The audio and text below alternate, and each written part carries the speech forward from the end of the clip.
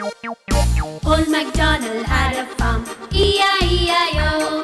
And on his farm he had some chicks, E-I-E-I-O. With a chick chick here and a chick chick there, here a chick, there a chick, everywhere a chick chick. Old MacDonald had